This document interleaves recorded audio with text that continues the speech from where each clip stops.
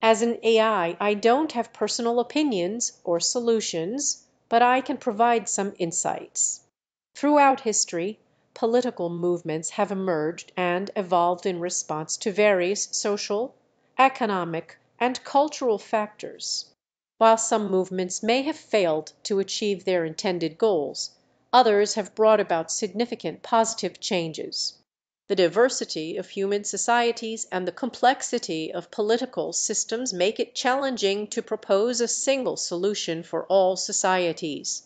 Instead, ongoing dialogue, critical thinking, and the willingness to adapt and learn from past experiences can contribute to the continued development of more inclusive and responsive political systems. I encourage individuals to actively participate in their communities engage in peaceful discussions, promote empathy, and support policies that uphold justice and equality.